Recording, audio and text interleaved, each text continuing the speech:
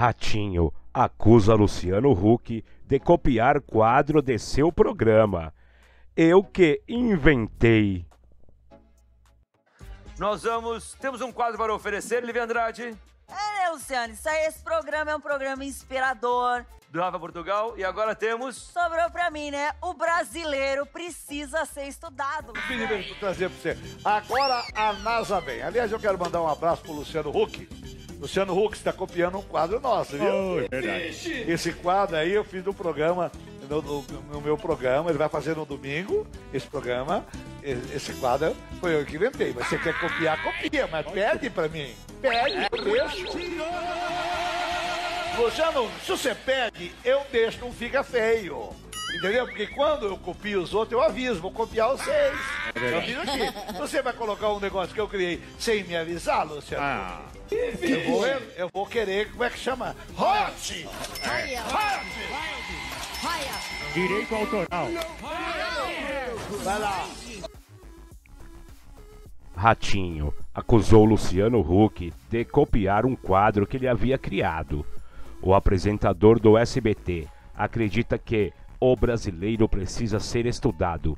Atração do domingo com Huck, anunciado no último domingo, dia 27, é muito parecido com conteúdo que ele mesmo já exibiu em seu programa.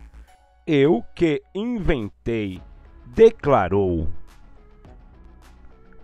Antes de mandar o recado a Hulk, Ratinho usou a frase Agora a NASA vem, que é bastante popular nas redes sociais.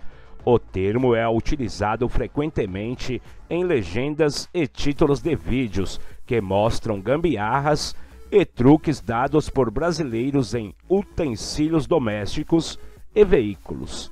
Caso de um motor de carro usado como churrasqueira ou de um banco amarrado à cintura de uma pessoa, por exemplo. Isso remete ao fato de que as invenções terem tecnologias tão inusitadas que a NASA, Agência Espacial dos Estados Unidos, deveria estudá-los. No quadro Jornal Racional, Ratinho costuma mostrar vídeos curiosos da internet. E a assistente de palco, Milene Pavorô, apresenta dicas de sua mãe.